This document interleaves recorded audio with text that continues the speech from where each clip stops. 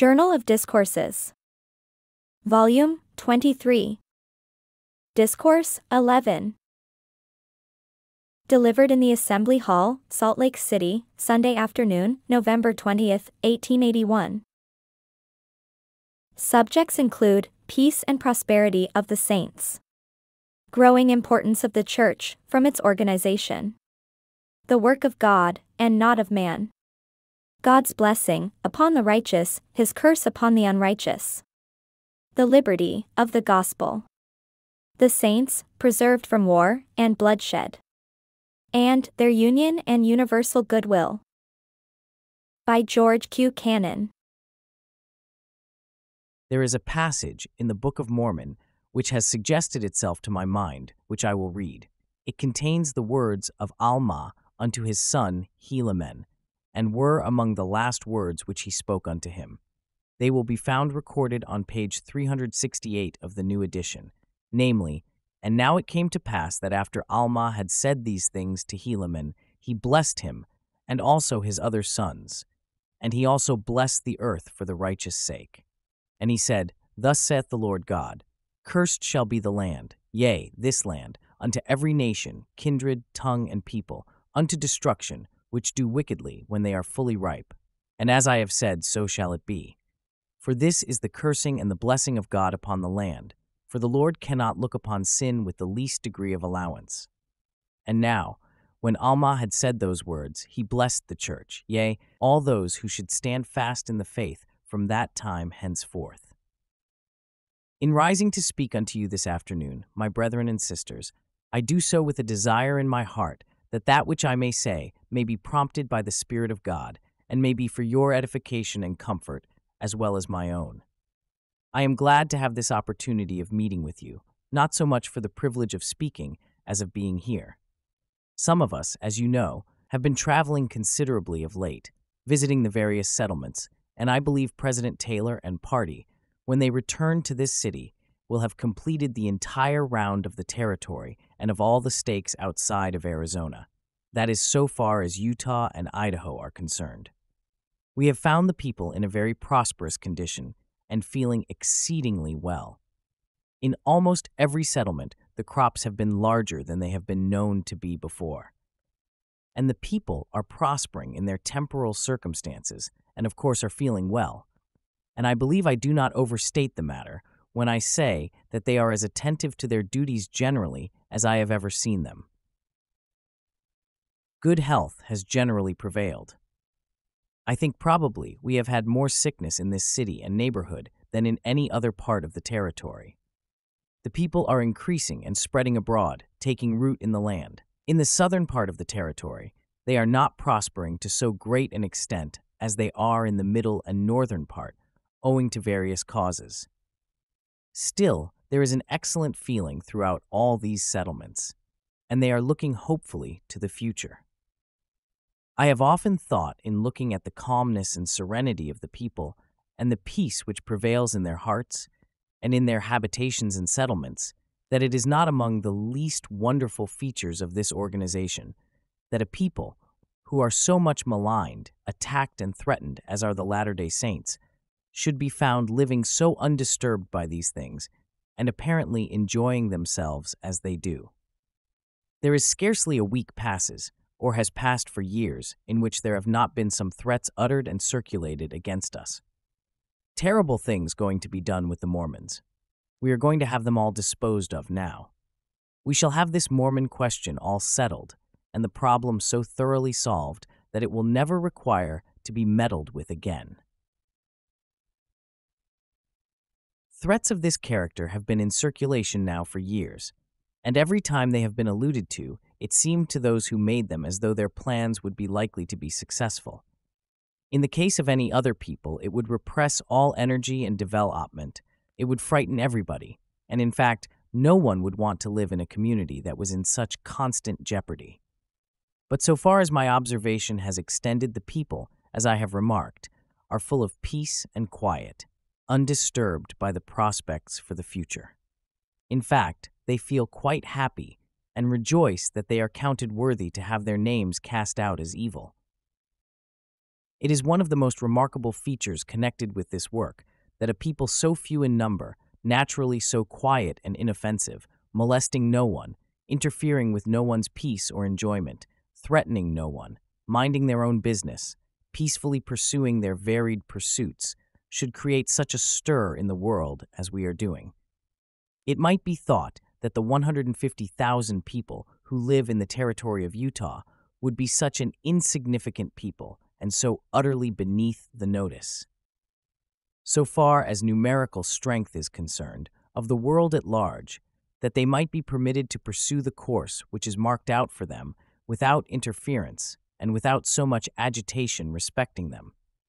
But I was told yesterday by a federal official who had just returned from the East, and I suppose it is true, that there was no subject today that seemed to have the importance in men's minds that Utah had, and that wherever he went, when it was known that he was from Utah, everybody wanted to talk with him about its affairs and its people.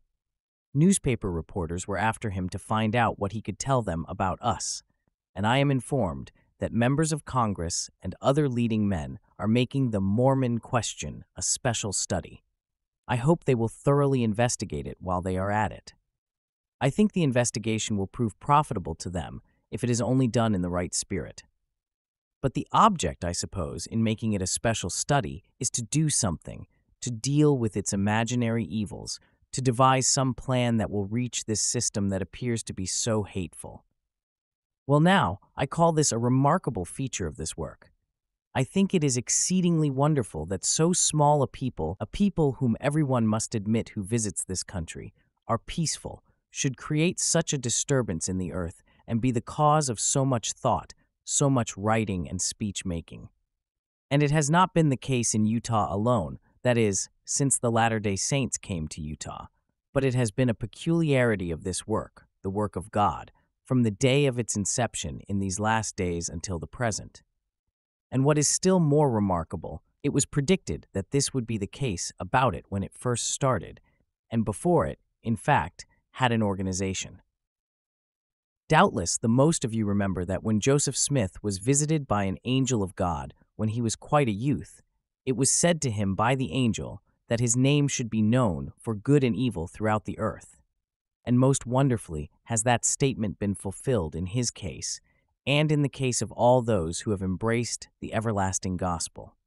This was said before the church was organized. It was published directly after the organization. Doubtless you are all familiar, or most of you are, with the letters of Oliver Cowdery to W. W. Phelps, in which this was published among the earliest writings that were sent forth by this church, and when to all human appearances there was not the least probability of it being fulfilled, except a man should have the spirit of revelation to discern the future. But when the church was organized, it created a sensation in the neighborhood. It attracted attention. Men's minds were drawn towards it. As it increased, the excitement spread, and among the earliest predictions that I remember hearing, connected with this work, was that it had called forth the attention of townships and of counties and of states. And it was said of it that it should spread until it would attract the attention of the United States and of the world. This was one of the earliest predictions that was uttered connected with the work, and it was also predicted concerning it that its missionaries should go to every land and to every people and carry the glad tidings of salvation, and should be the means of gathering out of every nation, kindred, tongue, and people, the honest in heart, who should gather together in one place, and should be known by the name of Zion. I often think of this. The wonderful manner in which this people called Latter day Saints dwelling in Utah have been gathered together is a subject of never ceasing interest to me. Before the organization of the Church of Jesus Christ of Latter day Saints, Joseph Smith received revelations which he said were revelations from God. They are now embodied in this book, which we call the Book of Doctrine and Covenants. And among the earliest of these revelations is found a statement given by the Lord Jesus Christ through Joseph Smith to the effect that he intended to bring forth and establish Zion, and that he would gather together the people who would obey his gospel. This prediction is particularly noteworthy because at the time when the first of these revelations was given, there was no such organization as the Church of Jesus Christ of Latter day Saints upon the earth. It did not have an existence. And in the September following its organization, that is, five months afterwards, another revelation was given, in which it was stated still more plainly who were to be gathered, and the purposes for which they were to be gathered, and this too before there was a place designated as a place of gathering. I have often said that if the prophet Joseph Smith had no other evidence to show to the world of the divinity of his mission and of his prophetic office than that revelation alone, it was sufficient in and of itself to establish it, for this reason. That at the time it was uttered, as I have said, there was no organization of the Church of Jesus Christ of Latter day Saints. There was no gathering place. No person had ever witnessed such a proceeding. As a people belonging to one church, gathering together and dwelling together in one organization. There was nothing of the kind known.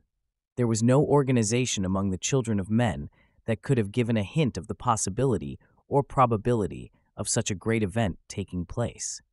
If other churches had done the same, then it might have been thought that the prophet Joseph Smith could easily have predicted that the people that he would be the means of gathering together might do so also. But there was no accessible record extant of the gathering together of any people in this manner at the time that Joseph proclaimed this principle. Yet he, inspired of God, dared to make this statement to the world and to publish it. And today, we who are here are living witnesses of its fulfillment, not of its complete fulfillment, but sufficiently to make it one of the strangest events that has ever been witnessed among men. There have been many circumstances surrounding the people which have been of such a character as to operate against their gathering. It is not long since a Secretary of State issued a circular to the nations of Europe to check this very business of gathering.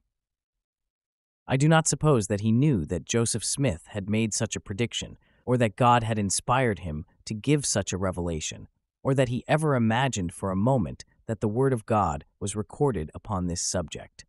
But he thought it would be a good thing to stop the immigration of Mormons.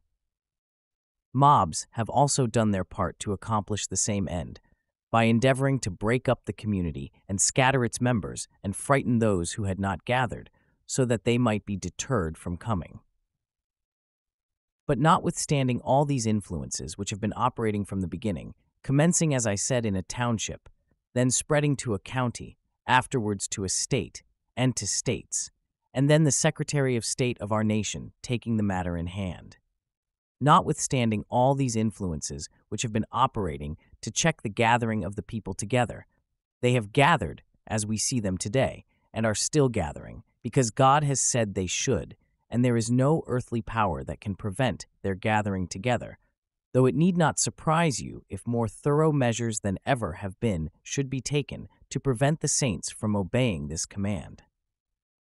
When the elders of this church first went out, they went out without the ordinary advantages that men who call themselves ministers possess. They were men selected from the various avocations of life. Joseph Smith himself was a farmer. He was not a man that was schooled for the ministry.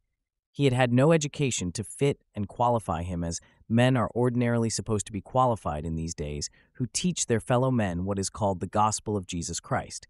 He did not go to a theological seminary, but inspired of God, having been ordained of God to the everlasting priesthood, that authority that had been withdrawn from the earth in consequence of the wickedness of men and been restored to the earth and bestowed upon him by angelic agency, he stood up in the midst of his fellow men and proclaimed the truth, and by the power of God he was the means of bringing many to its knowledge. And, as I have said, inspired of God, he selected others and laid his hands upon them, that being the ordination necessary to qualify them to preach the word of God.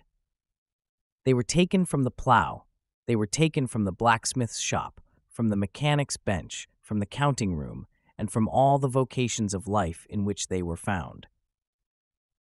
They were taken and were thus ordained and sent out to preach the gospel, without purse and scrip, without salary, without that which the world had considered necessary, an education, an education suited to the calling. In this way they went forth and preached the gospel, not in men's wisdom, not in their own strength, but calling upon God in the name of Jesus to bestow his Holy Spirit upon the people and to carry their words by that Spirit to their hearts and to help them find the honest, the meek, and the humble. This is the way in which they went. They could not glory in man. They could not take glory to themselves, for there was nothing about them in which they could glory. And the result was that wherever they went, they met honest hearted people, people who were waiting to receive their message. And these people, as soon as they were baptized, were seized with a desire to gather together with the people of God without knowing what God had said upon the subject. Now, when God does a work, he does it in his own way, and he is determined, he always was apparently from all we read, to have the glory of that work. If a man were to go forth qualified by education and preached by the power of education and of learning, who is it that gets the glory? Why, you will find it everywhere that man is glorified. If there is a fluent preacher, if there is a successful orator in what is called the Christian church, he gets the glory of it and he gets a salary in proportion to it. Commencing, as some of them have done, to preach in humble places, the fame of their oratory has spread, and they have had calls to the ministry from other places, such calls being accompanied by an increase of salary, and a man goes from one place to another according to the addition he receives in his salary until he becomes noted as many are today. The fame of their oratory goes throughout the United States. Who is it that gets the glory for this? Why, it is the men themselves, and they get the salary too. They not only get the glory of men, but they get their pay. Man's education is praised. The college where he received it receives credit for it according to the ability that he may display. And God is very little thought about in the matter, and certainly the Holy Ghost gets no credit, for it is supposed that the Holy Ghost has nothing to do with it. Well, now, God has taken a different method in our day, and He is showing forth His power. He is taking the meek and the lowly and the humble men who are desirous to keep His commandments, and He is making them mighty through His power. But they cannot give any glory to anyone but the Almighty for this. Let a man attempt to travel without purse and scrip, as the elders of this church have done, and as the ancient apostles did, and if he is successful, he is successful through faith, through his reliance upon God, through keeping his commandments, through being humble, meek, and lowly of heart. And if he reaches the hearts of the honest, the only way he can hope to do it is by having the Spirit of God and having that power accompanying his words. He cannot do it in any other way. And who is there in this church that gives Joseph Smith the glory of this work? Yet it is the most wonderful organization ever beheld among men. There is nothing like it. There is no limit to the power connected with it. There is no limit to the union connected with it. There is no limit to the capacity for expansion connected with it. You may expand it and make it as wide and broad as you please, and the organization is equal to it. If it only consisted of six members, it answered the purpose. If it consisted of 6,000, it answered the purpose. If it were to consist of six millions, it would answer the purpose. If it should embrace the whole world, it would be found equal to the necessity. No man can look upon the organization of this church and examine it in its details without being wonderfully impressed. If he be a man who does not give glory to God with the ability of the man who framed it. But if he be disposed to give glory to God, he cannot examine it without praising God in his heart for giving so wonderful and so simple an organization on the earth for a church. But though this is the case, who is there that gives any glory to Joseph Smith? Who is there that gives any glory to Brigham Young? I have been told repeatedly that we do not honor our men enough, we do not give them praise enough. But it is a fact, the people look behind the instrument. Joseph Smith was a man. Yet we have been falsely accused of worshiping Joseph Smith in the place of the Savior and the same has also been said of Brigham Young. But the true feeling is to look behind Joseph Smith and Brigham Young to the power who raised them up, to that being who gave them all their gifts and endowments, who inspired them, and who made them perform the work that they did. And when elders in this church are successful, there is very little disposition to give them the glory or the praise, therefore. The praise is given to God, who is the author of these blessings and of the gathering of this people together. The world say it was the shrewdness of Joseph Smith that first suggested this, and that it was the executive ability that Brigham Young had that carried it out. They do not recognize God in it. It was Brigham Young. But, my brethren and sisters, you know who it was. You know that it was no power of man that could have touched your hearts and made you desire to leave your homes and come to Zion. This makes every man and woman in this church who comes from the nations of the earth a living witness for himself and for herself, not depending upon the elders, for the elders could not do this. They could not offer the inducements. But every man and every woman becomes an interested person, a witness himself and herself to the truth of these things, and especially to the doctrine of gathering. Why the desire is so strong and has been in the hearts of the people that if it were necessary, they would walk on foot any distance to join the gathered saints. If they could walk on the water, they would do it. They would push hand carts across the plains if they could not come across in any other way, carrying their packs on their backs. Why? Because the Spirit of God was poured out upon them, and it filled their hearts with this desire that I said is irrepressible. They could not be content to stay away. In this way, God has built up this church. It did not, as we have often heard, depend upon one man. Men thought if they killed Joseph Smith, they would destroy the keystone. That his existence was the means of upholding the work and giving it solidity. But he was killed, and still the work prospered, and it will prosper if every man that is now in position in the church should be killed or should die. The testimony of Jesus is in the hearts of the people. You travel throughout the territory and call the people together and ask them, What influence brought you here? Every one who is an adult and has retained the faith will tell you that it was the Spirit and power of God. No other influence nor power could have done this but that. Well, now, men will fight it. Men are fighting it. It is strange today to see people who call themselves religious advocating all manner of means to be brought against this people to destroy them. To shed their blood is thought to be justifiable. The killing of people in order to destroy an organization that they think is so full of menace.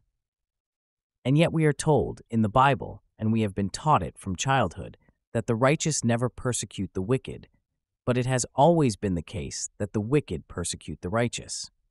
And we are told by the Savior himself that his followers should be hated of all men, and that men in seeking to kill them would think they were doing God's service. It was not the apostles of Jesus who persecuted the wicked. It was not the righteous who hated them, and who sought their destruction. There were no petitions went out from the humble followers of Christ against the Pharisees and against the religious sects of that day to have them destroyed, to have governmental aid to assist them in extirpating their heresies. Nothing of this kind has ever been witnessed, but here we find today the professedly righteous, the ministers, advocating the most dreadful measures. Why I heard here a few days ago from one of our returned missionaries that the sermon of a notorious preacher in the East, delivered some time since, in which he advocated the wiping out of the Latter day Saints by the use of arms and cannon and weapons of war. I was told that the sermon, when it reached England, was reprinted and distributed gratuitously at the doors of the churches. People rejoiced over it, thought it an excellent scheme, and yet you tell those people they are not Christians, and they would be shocked, feel insulted, and think themselves terribly abused by such a statement, and at the same time were rejoicing over the prospect of the Latter day Saints being killed and the system being broken up by violence. How shall we feel respecting these matters? I have said that the people, so far as my observation has extended throughout this territory, were rejoicing and feeling contented. How shall we feel? Shall we be disturbed? The man or woman who entered into this church who was old enough to understand these matters and expected anything different to this was not properly informed. When I became old enough to understand the character of this work, I made up my mind that it might cost me everything before I got through. I did not know what might be involved in it, what consequences, but I knew that others who had started out for salvation had been slain, and that saints of God in every age have had to lay down their lives for the truth, and that my Lord and Master Jesus Christ had been crucified. And if I expected to live and reign with him, that I must also be prepared to endure all things. The salvation that God has promised unto us is worthy of all this, or it is worth nothing.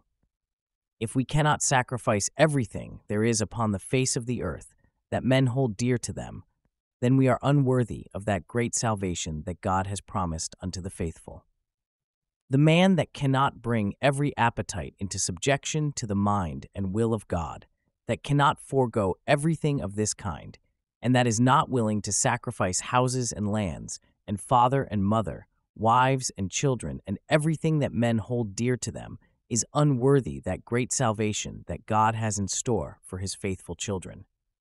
When I hear people say that they are Latter day Saints and will drink with the drunken, when I hear men talk about being Latter day Saints who will not conquer their appetites and will not bring them in subjection to the mind and will of God, I think very little of their professions. If we value this salvation as we should, there is nothing that will stand between us and it. We may love our wives as we love our own lives. We may love our children as we do ourselves. We may be willing to step between death and our wives and children and say, If any be killed, let us be killed. If there is to be any hardship, let us endure it. We may have this feeling, but at the same time, we must love the gospel of the Lord Jesus Christ and the cause that he established better than we do our wives and our children, better than we do our own lives. There is nothing upon the face of the earth that we should love as we do the gospel. God requires this of us. Therefore, if we are Latter day Saints, what difference does it make what is brought against us? Suppose armies should be launched against us. Suppose the measures urged by some so called divines should be carried out. Will it make any difference in regard to us and our future? Shall we be disturbed because of these threats being fulminated against us? Not in the least. For the reason that God is our Father, He stands at the head, and not one hair of our heads shall fall to the ground without His notice. Nothing can occur that He does not take cognizance of. He watches over us as well as the rest of the human family, and He will overrule everything for our good. We should, therefore, be the happiest people, as I fully believe we are, on the face of the earth. We may be persecuted, maligned, and threatened. It ought not to make the least difference to us in regard to our enjoyment. Our trust should be in something higher than man. There is one being whom we call our Father, and that is God, whom we should fear. We should hold him in reverence and be so afraid that we would never do anything to offend him or to grieve his Holy Spirit. But as for man, what is man? What is there about man that we should fear him? We have seen men in the plenitude of their power array themselves against the work of God, and they have passed away one after another. But the work of God lives and will live. Opposers may fight it, rave against it. Organizations may be formed for the purpose of crushing it, but they will pass away just as sure as God has spoken and as we live. This work that God has established will roll forth. The power connected with it cannot be crushed. Men may apostatize, as many have done, but it will not affect the work. The three witnesses of this Book of Mormon, from which I have read, Oliver Cowdery, David Whitmer, and Martin Harris, two of them are now dead, testified all their days that an holy angel came and showed them the plates from which this book was translated. Even they fell away. They disagreed with the prophet Joseph and fell away from the church, one of them at least, because of unchastity, the cause most fruitful above all others of apostasy. When a man indulges in unchaste desires or practices, he cannot stand in this church. He will apostatize sooner or later unless he repents. One of the witnesses, Oliver Cowdery, upon whose head, with that of Joseph Smith, the hands of John the Baptist were laid, upon whose head, in company with Joseph Smith, the hands of Peter, James, and John were laid, even he fell away from this church, and yet he never denied his testimony of the truth of this work nor did Martin Harris. David Whitmer, the only surviving witness, is in the same condition. He, too, fell away from the church during Joseph's lifetime and became Joseph's enemy. But he never denied the truth of his testimony connected with the Book of Mormon and still bears testimony to it today. These men, it might have been supposed, would have shaken the church. Oliver Cowdery had the idea, notwithstanding the revelations he had received, that when he fell away, the church would receive a great shock. There were twelve men chosen as apostles from the midst of the people, and of these twelve, six fell away from the church and ranged themselves against the prophet of God. They were determined to destroy the work if they could. This reminds one of the parable of the ten virgins. There were five wise and five foolish. One half of them were unprepared to go out and meet the bridegroom. So with the apostles, half of them fell away. But did the church stop? No. And if all the apostles had apostatized, it would not have arrested the onward progress of this work, for God has spoken concerning it, and his word will be fulfilled. And shall we fear man? Shall we fear earthly organizations? Shall we fear threats? Shall our knees tremble and our hands and our hearts falter because men array themselves against the work of God? If we do, then we mistake entirely its character. No such feeling enters into the heart of any faithful man or woman connected with this church. Now, my brethren and sisters, the Lord has made great promises unto us. I have read you one from this Book of Mormon. This land is a blessed land unto all the inhabitants of the earth who will act righteously, but is and will be cursed to those who will not. There is a curse and a blessing upon the land. No nation can prosper in this land that works unrighteousness. And it is a painful thing to say that our own nation, unless it repents, will meet with disasters sooner or later. It pains us to say this, but it is true. God has said it. It will be true about us. This land can only be blessed to us if we work righteously. Let us turn round and oppress the weak and do wrong, and God will curse the land to us.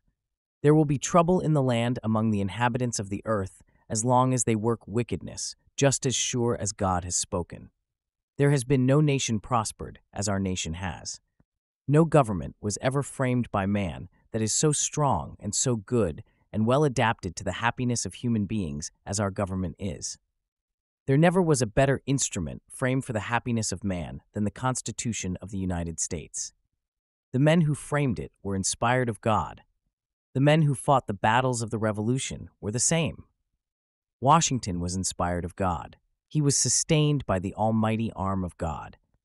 And the defeats that the mother country received were in accordance with the plan of God. This land was kept for this purpose. For centuries, it was hidden from all the nations of the earth. It was not until the 15th century that God inspired Columbus to go forth and seek a passage across the Atlantic and land upon some of the islands adjacent to this continent. His track was followed by others. All this was in the mind of God. We have it all plainly stated to us in this book, the Book of Mormon, and the reasons for it, the best possible reasons that could be given. It is said that the Norwegians had visited this country and that the stone tower at Newport is evidence of it. The Scandinavian antiquarians claim that it was thus discovered. But if so, it was not peopled. It remained hidden until the 15th century, and there was good reason for it. This land would have been overrun by other nations had it been discovered earlier, and there would have been no place for that which we now behold. But God preserved it. And he has said in the Book of Mormon that so long as the inhabitants of this land serve the God of the land, who is Jesus Christ, they shall prosper, and no nation shall have power over them. The Lord has also said that there shall be no kings upon this land. The attempt of Maximilian is an evidence of the truth of it. Backed as he was by the power of France and Austria, particularly by France, he was killed for his attempt. For the Lord has said, There shall be no kings upon this land, and that it shall be a land of liberty unto the inhabitants thereof, as long as they serve the Lord. And the prosperity that has attended the land thus far is due to this blessing. Those who contended for liberty in early days were men who desired to serve the Lord. They may have been mistaken in many things, but they were zealous in this and devoted to it, and many of them were willing that every human being should have the rights that they contended for themselves. But this is all changed today. There is a great change. You and I cannot worship God as we desire without being in danger. We are told that it is because we are polygamists. Why? The earliest privations which we had to contend with the scenes which are seared in the memories of these aged people, and these of middle age, were all passed through by us when polygamy was not known. When we chose to worship God and said he was a God of revelation today, the same as he was 1800 years ago. There were men then, and there are men today, who would destroy us because we exercise that belief. Hence, I say, prosperity cannot attend a people who will trample upon liberty in that manner, and the party that arrays itself against the work of God cannot prosper. When men have power and do right, they will be sustained. But when they do wrong, they go against the eternal principles of justice and against God. There are many thousands of men who know that Utah has not been fairly treated, but they have not the courage to say so, because with many who hold office, it might cost them position. Visitors come here and are impressed with what they see, but many of them yield to the force of public opinion and say what they do not believe in their hearts. Thus it is that the tide of calumny has swelled, and there is no one to throw obstacles in its way. We have endured its full force as it has rolled upon us, and must still stand up and endure it. Although it is so painful, it is not without profit. It teaches us many valuable lessons. I hope it will have a good effect upon us. I suppose it is to chasten us and to keep us humble, and if it will teach us to be liberal and not to oppress others, I shall be glad. Liberty for every man in the land and every woman, liberty to the fullest possible extent for all, as long as they do not trespass upon the rights of their fellows. If a man wishes to worship an idol or an animal, a bull, a calf, a dog, or a serpent, or anything else, liberty to do so as long as his worship does not interfere with the rights of his fellows. If he wishes to worship the God of heaven, all right, he should not be interfered with. God has blessed the land in the words that I have read in your hearing, and if we were driven out of it, in five years it would return to its original desolation. This land of desolation God has changed into a fruitful field because of the blessing on the land, and as long as the Latter day Saints live righteously, the land shall be blessed to them. The climate will be ameliorated, the soil will be fertilized, fruits will grow as they have done in this valley. When we first came here, I remember the thoughts of many. They did not believe that we could raise any fruit here, and the man who first set out peach stones was laughed at because of the idea he entertained that they would grow. Very few believed they would grow. And today, where can you find a better land for fruit than this? I suppose when we came, many thought if we could raise bread enough, it would be as much as we could do, there being frost every month of the year. But now it is so charming a place that many covet it. When they got up that raid against us a few years ago, I was credibly informed that there were certain men here who actually went round and selected the places they would occupy. They indicted Brigham Young Daniel H. Wells, and others for alleged crimes, and the hope was that we would scare away from here, and then places could be had for the choosing. But we came here to stay, here we expect to stay, and here we shall stay as long as we do right. And we shall not only stay here, but we shall spread abroad, and the day will come. And this is another prediction of Joseph Smith's. I want to remind you of it, my brethren and sisters. When good government, constitutional government, liberty will be found among the Latter day Saints, and it will be sought for in vain elsewhere. When the Constitution of this land and Republican government and institutions will be upheld by this people who are now so oppressed, and whose destruction is now sought so diligently. The day will come when the Constitution and free government under it will be sustained and preserved by this people. This is saying a great deal, but it is not saying any more than is said concerning the growth of this work, and that which is already accomplished. I have just turned to the revelation upon this subject, which says, And it shall come to pass, among the wicked, that every man that will not take his sword against his neighbor must needs flee unto Zion for safety. And there shall be gathered unto it out of every nation under heaven, and it shall be the only people that shall not be at war one with another. This revelation was given on the 7th of March, 1831. We have already beheld and are now beholding its fulfillment. The righteous are being gathered, and they are coming with songs of everlasting joy. And this was given before there was a gathering place, and only 11 months after the church was organized. And it is a remarkable fact that today, I do not say it out of any improper feeling, our hands as a people, by a singular providence, are free from the blood of our fellow men. We were driven out of this land. Our enemies were not content to let us remain in the States, on the land that we had purchased.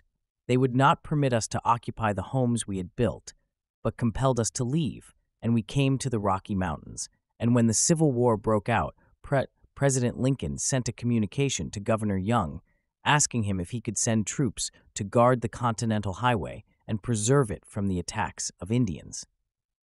He responded by sending out companies of cavalry. They spent the time in guarding the mail route against the Indians. And thus, as I have said, our hands today as a people are free from the blood of our fellow citizens by this singular providence through the acts of our enemies. Had we remained in the state of Illinois or in Missouri, we should have been compelled, unless we had chosen to occupy a very anomalous position, to have taken sides in this fratricidal war, a war which Joseph Smith in the year 1832 predicted would take place. The revelation was printed in 1850, though known to the church long before, stating that the war should commence between the North and South at South Carolina. I suppose there is not a boy who has been brought up in this community who did not know of the revelation years before it was published, and, still longer, before it was fulfilled.